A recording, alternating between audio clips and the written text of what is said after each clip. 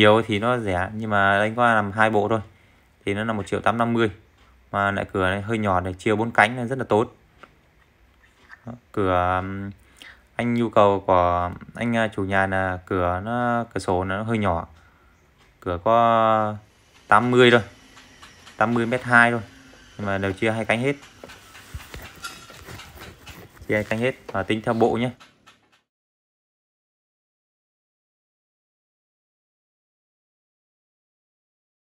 Cửa bốn cánh nhé.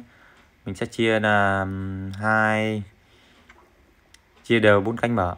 Đó. bên trên thì mình sẽ chia là hoàn thiện xong thì hôm nay à, là ngày mình đi nắp. Hôm nay là ngày 21 tháng 3 anh em dậy rất là sớm à, đi tầm à, sáng là 4 giờ anh em đã xuất phát rồi. Vì từ Thái Bình sang Nam Định là 70 cây.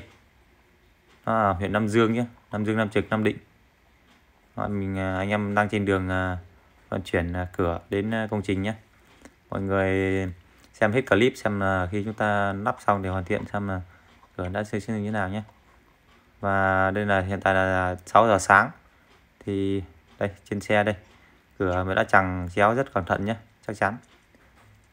Đó, đó toàn bộ là bốn cánh thì mình xếp vào một bên.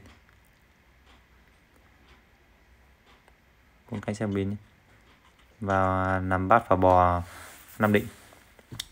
Sau khi ăn uống xong thì mình cũng đã đến nhà anh rồi. Chuyên trở đến rồi. Đây, nhà anh đây. Tiến hành là chúng ta bê cửa lên nhà và chúng ta sẽ tiến hành lắp ráp. Thì thuê mấy anh em thợ thì đi xa. Đó. cửa là bao gồm tất cả phụ kiện như hàng chốt, rút cũng rất là đẳng cấp, chốt rút dài nhé chứ không dùng chốt ngắn như ngày xưa. Chốt rút dài luôn đấy. Dài à, cả trên cả dưới. Thì cái chốt rút này nó rất là tiện lợi. Tránh trường hợp là đau lưng, mỏi gối. Khi chúng ta, chủ nhà chúng ta cúi xuống chúng ta mở, chỉ là chốt bật. Ok mọi người nhé tí mọi người xem clip mà hoàn thiện xong à, sẽ như thế nào nhé sau một ngày nắp thì hiện tại giờ là năm rưỡi thì mình đã hoàn thiện à, ngôi nhà nhé. Nắp hết cửa. Nó chỉ tầm à, mấy chục mét thôi.